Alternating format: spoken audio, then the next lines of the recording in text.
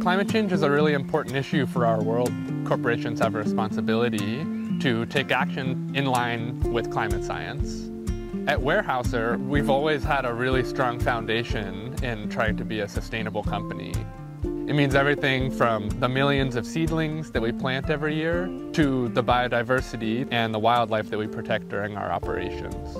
We have really strong systems in place to make sure that our forests are both mitigating climate change and that our forests are going to be prepared for climate change as it continues to happen around us.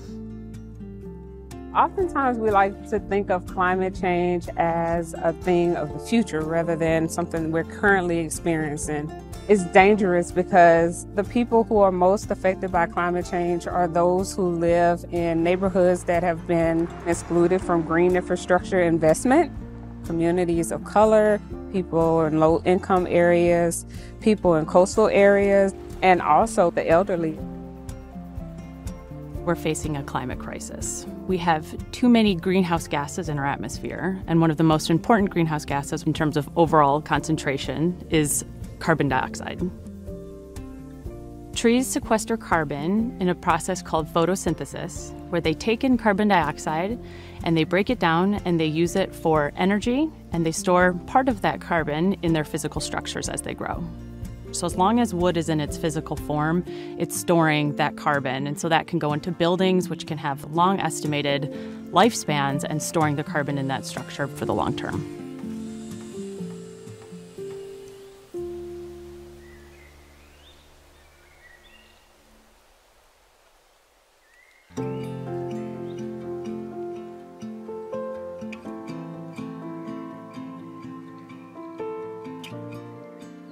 Our 3x30 climate ambition is about making sure that working forests and wood products are recognized as part of the solution to climate change.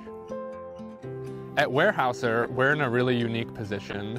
Because of our scale, we remove the emissions of about 7 million cars in any single year. We have a growing global population. There is a lot of projected demand for building and construction. And we use a lot of other materials that are very emissions intensive. They take a lot of fossil fuel production to create them. So that's cement, steel, plastics. We really need to shift away from our reliance on fossil fuels, use more natural materials throughout our economy.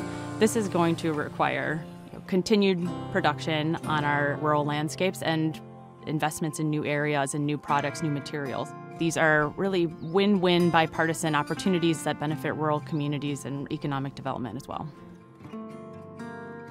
The climate challenge is very daunting, but in the forest sector, we do have a lot of opportunities to bring the right actors together to both meet the needs of society and undertake good management on the landscape. We have some really important steps that we can take in the next five to 10 years. We're working with many different partners, including universities such as Oregon State University, Michigan State University. We're also working with American Forests, the World Resources Institute, the World Business Council on Sustainable Development to help come together to solve some of the world's toughest climate problems. Trees sustain us. They help filter the water, they purify the air, decrease surface temperatures and air temperature. So the least that we can do is plant, care for, and maintain trees. One area that there's a lot of agreement on is keeping our forests as forests. We want diverse types of forests on a landscape. Working forests, old growth forests, urban forests. We're going to need all types of forests to adapt and be ready for climate change. And it's really our responsibility to protect those and make sure that they could be here long after we're gone.